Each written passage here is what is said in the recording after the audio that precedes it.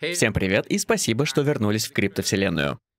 Сегодня мы поговорим с вами о биткоине и обновим информацию о полосе поддержки бычьего рынка. Друзья, если вам нравится этот контент, обязательно подпишитесь на канал, поставьте под видео лайк и, конечно же, подпишитесь на канал Crypto Commons, они вас очень любят. И, конечно же, напишите ваш самый огненный коммент. Итак, для тех, кто не в курсе, полоса поддержки бычьего рынка попросту состоит из 20-недельного SMA и 21-недельного EMA.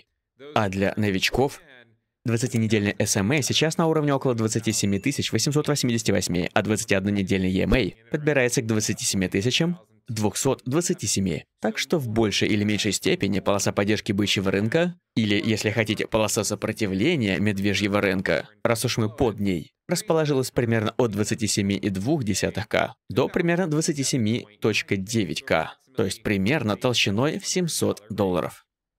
И причина, по которой мы так много говорим о полосе поддержки бычьего рынка, заключается в том, что она может много там чего подсказать. Особенно то, где мы находимся в текущем тренде. И одна из вещей, о которой мы говорили ранее, и я доволен, как мы это здорово сделали, в определении большинства тех движений, которые мы хоть, конечно же, и не все определили. Это очевидно. Много вещей, в которых я на самом деле ошибся.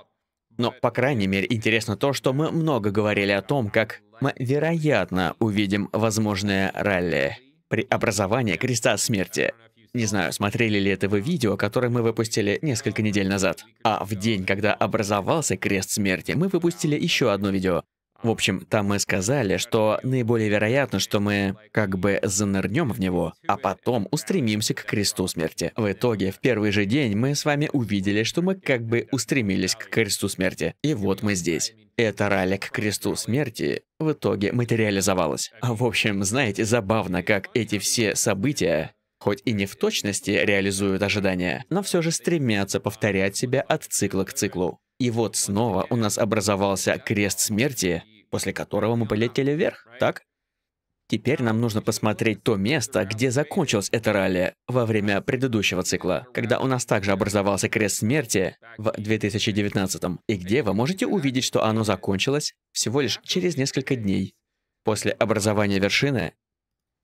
Но что более интересно, не то, сколько времени длилось это ралли, а где это ралли закончилось. И вы видите, что в итоге данное ралли завершилось, как только достигло полосы поддержки бычьего рынка на недельном таймфрейме. Еще нам следует помнить, что у нас был фитиль на 20-недельном скользящем среднем. То есть у нас в итоге был фитиль над ним, и вы можете себе представить, что в какой-то момент в течение этой недели эта зеленая свеча была вот здесь. Если бы вы посмотрели на эту зеленую свечу конкретно в этот день, то все бы выглядело, как будто бы мы уверены на 20-недельном SMA. И вы бы не обязательно знали, что к концу недели он опустится ниже этого уровня, хотя по факту так и произошло. Но здесь важная часть заключается в том, чтобы помнить, что это все ничего более, чем нисходящая вершина. Это ведь в конечном итоге нисходящий верх. Вот здесь верх, а вот здесь нисходящий верх. Еще один нисходящий верх. А вот этот фитиль — это нисходящий верх, который даже еще ниже, чем этот фитиль. Это всего-навсего нисходящие верха, а это закрытие ниже полосы поддержки бычьего рынка, хоть мы и достигли его этим фитилем. Ралли пошло после креста смерти, и здесь вы видите, что у нас было закрытие недели, выше, чем 21-недельная EMA, но ниже 20-недельного SMA. Но повторю, что история не обязана повторяться в точности. Поэтому есть другие примеры, когда это ралли не затухло в одночасье. Но мы обсуждали с вами, как мы в это заступим. Мы говорили, ребят, мы проведем полгода в росте, более вероятно, и проведем полгода в падении. Верно? Полгода вверх и полгода вниз. Но во время аптренда характеристика определяется несколькими движениями вверх и несколькими движениями вниз. При этом в целом тренд сохраняется восходящий. Как и даунтренд не всегда идет вниз, он иногда и растет. Вот почему мы давали рекомендации, что вхождение в крест смерти будет более чем вероятно наиболее оппортунистическое время в ралли биткоина, потому что, повторюсь, как мы говорили, биткоин, показав крест смерти, станет негативной темой для людей. Люди будут считать, что все плохо, они начнут продавать. В итоге все закончится продажами на локальном дне, после чего биткоин вернется обратно. Мы даже выпускали видео об этом и предупреждали, что, друзья, не попадитесь на это, так как обычно мы наблюдаем за распродажами прямо перед крестом смерти, а в день образования, когда он на самом деле случается, так как это запаздывающий индикатор, который как бы говорит о том, что уже произошло, после которого образуется ралли обратно, по крайней мере, через несколько дней, и которое иногда длится несколько недель. Таким образом, на что мы с вами сегодня посмотрим, и как мы сможем определить и решить, повторится ли то, что было у нас в 2019 году, или это пойдет по своему сценарию. Я скажу вам так, у нас есть эта вершина, а на этом фитиле у нас есть нисходящий верх. То есть этот фитиль здесь образует нисходящий верх, который поднялся лишь немногим выше, чем 30 тысяч. Примерно 30.2к, может быть 33к, в зависимости от биржи. Основное, что где-то между 30.2 и 30.3к. Если мы пойдем по пути 2019, то это будет значить, что выше этой цены мы не поднимемся. Конечно, всегда можно получить фитиль выше 20-недельного SMA, что не обязательно должно будет поменять что-либо. Но помните, что даже если закроется неделя выше 20-недельного SMA, это не обязательно будет так же важно, если только это не будет последовательное закрытие нескольких недель. Если, скажем, у нас будет три подряд недели с закрытием выше, после чего мы опустимся ниже, то это будет серьезно. Вот здесь, например, вы видите, что мы прорвались через полосу поддержки медвежьего рынка, потом мы упали ниже на следующей неделе. В итоге тренд продолжился немного больше. А в 2022, когда мы поднялись выше, вот посмотрите здесь, после чего мы не упали под, в итоге мы опустились через несколько недель и продолжили падение. Так что же у нас с вами на сегодня? Если бы мы поднялись выше, то я бы все же сказал, что нам нужно несколько подряд закрытий над этой полосой, чтобы наши текущие ожидания начали отличаться от предыдущих. И пока этого не происходит, то, похоже, статус-кво остается неизменным. То есть того, что полгода мы растем, а полгода падаем в предхалвинговом году. Таким образом, я все-таки предполагаю, что наиболее вероятный исход для биткоина упереться в некоторое сопротивление вот здесь. Не могу сказать точно где. Но повторю, что 20-недельная EMA не так и далеко от того, где мы с вами сейчас. Всего лишь несколько сот баксов выше, 27.2к, то есть по сути мы говорим про 500 баксов над текущей ценой. То место, где сейчас 21-недельная EMA. А в 2019 мы поднялись выше, чем 21-недельная EMA. На самом деле мы поднялись даже выше, чем 20-недельная SMA, если посмотреть на дневном таймфрейме. Но на недельном таймфрейме закрытие было под этой полосой, что в итоге закончилось нисходящим верхом. Но я также хочу и обратить ваше внимание на другие сценарии, например, 2015 когда у нас было ралли Креста Смерти, после чего пошла распродажа обратно в Крест Смерти, и даже после него мы по-прежнему падали ниже, то есть не получилось ралли Креста Смерти. У нас его не было, но в итоге что получилось? Так это ралли, но потом. То есть мы не увидели с вами продолжение тренда, поэтому я хочу предупредить всех, что вот этот крест смерти не получил ралли креста смерти. То есть цена оставалась вялой на протяжении еще нескольких месяцев, но все закончилось ралли к концу года. И здесь присутствуют некоторые схожести. Если мы с вами посмотрим на макроклимат, то он в большей степени похож на то, что было в 2019 и 2015. Хоть эти годы и не дают нам идеальную картину для сравнения. Хотя в 2019 году у нас и образовалась перевернутая кривая доходности. В итоге крипто пошло на спад во втором полугодии. А в 2015 мы должны помнить, что крипто было довольно слабо в первой половине года, а во втором полугодии в основном росло. Вот почему я думаю, что в то время мы не увидели такие сценарии, которые происходят сейчас. Но хочу вам напомнить, что со всеми этими крестами смерти обычно то, что вы видите, что обычно происходит. А также давайте посмотрим и на золотое пересечение. Когда вы обычно наблюдаете золотой крест, то общий тренд сохраняется. То есть образуется временное падение, но общий тренд не изменяется. С крестом же смерти образуется временный памп. Но обычно общий тренд также не меняется. И, вероятно, нам следует посмотреть на последний золотой крест, чтобы понять, как долго длился спад.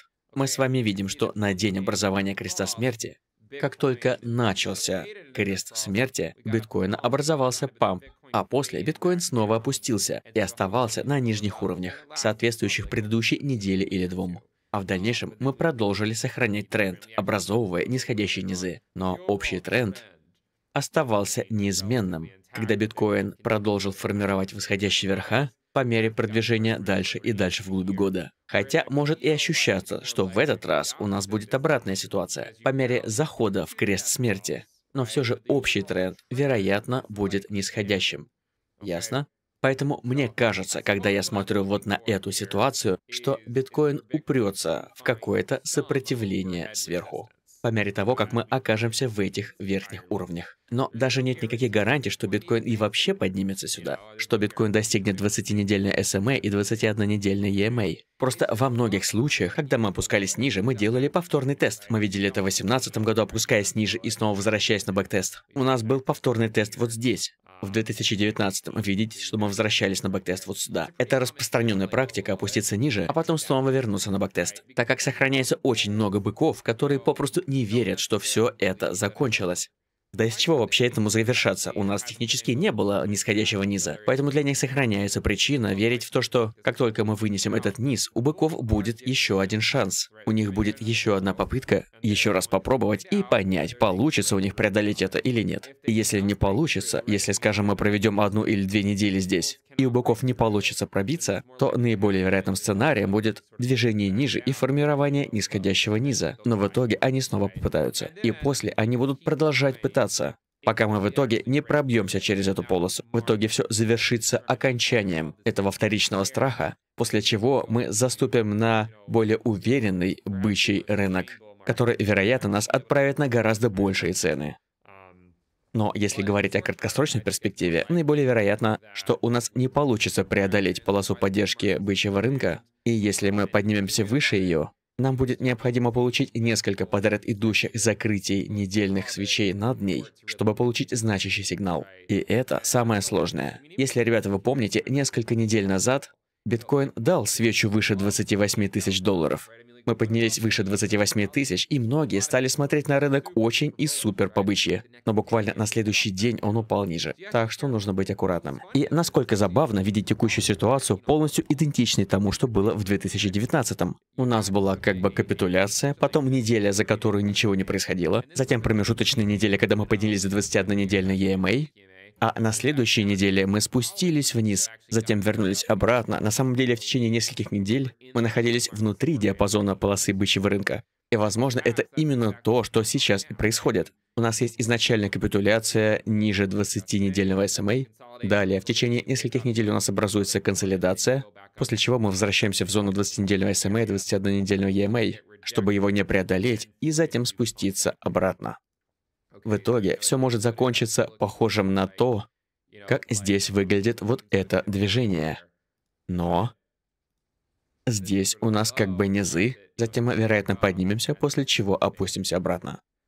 Но опять же, если вы хотите увидеть подтверждение обратного, если вы ищете признаки обратной ситуации, то, на мой взгляд, вам необходимо получить несколько последовательных закрытий недель над полосой поддержки бычьего рынка, для того, чтобы это хоть что-то значило, чтобы потенциально это означало, что текущая ситуация другая. В противном же случае я буду придерживаться статус КО, что с большей вероятностью мы не преодолеем эту полосу, нежели преодолеем. И если мы ее не преодолеем, проблемой будет то, что в рынке альткоинов сейчас очень мало ликвидности. В итоге рынок альткоинов может пострадать очень сильно из-за того, что там попросту нет ликвидности, особенно если биткоин опустится ниже, чем этот низ.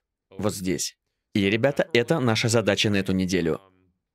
Также на этой неделе у нас будет очень важное событие – заседание FOMC. Я думаю, что это будет в среду, 20 сентября, поэтому я думаю, что это будет среда. Это может стать очень волатильным днем.